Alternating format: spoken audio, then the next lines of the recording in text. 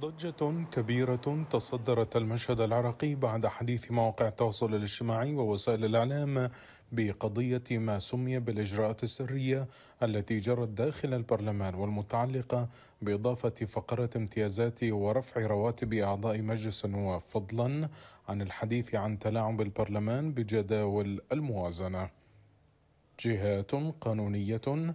أكدت أن رئاسة البرلمان قامت بدون سند قانوني وبشكل يخالف قرار المحكمة بزيادة رواتب النواب مبينة أن استقلالية حقوق النواب ليست من صلاحيات البرلمان.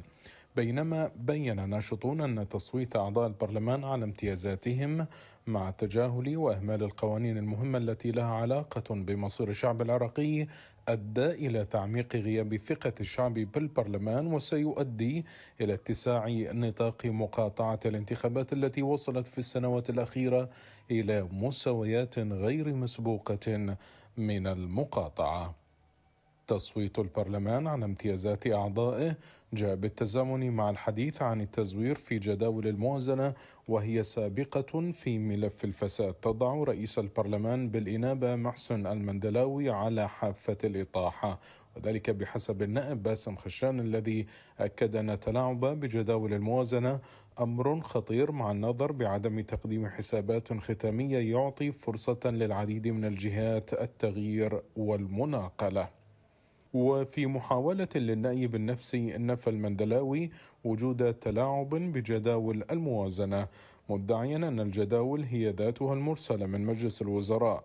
إلا أن حديث المندلاوي يتناقض مع تأكيد اللجنة المالية النيابية بوجود تلاعب بالموازنة مبينة استمرار لجنة التحقق بملابسات القضية مشيرة إلى أن التحقيق يجري مع أسماء كبيرة في البرلمان.